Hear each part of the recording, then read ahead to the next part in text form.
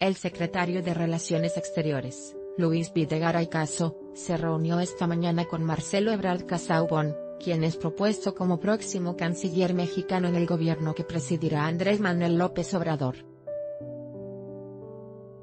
En su cuenta de Twitter, Videgaray Caso publicó, esta mañana me reuní con arroba m-ebrard para coordinar un proceso de transición ordenada y eficiente en la arroba re-mx, por el bien de nuestro país, destacó.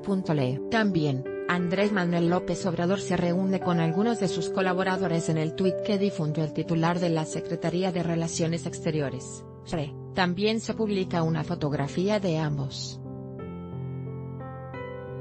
Previamente en una entrevista con Televisa, Ebrard dijo sobre el actual secretario Luis Videgaray que tienen buena relación, han entendido a ambas partes que están en un proceso de transición y que tienen que trabajar juntos porque está México de por medio.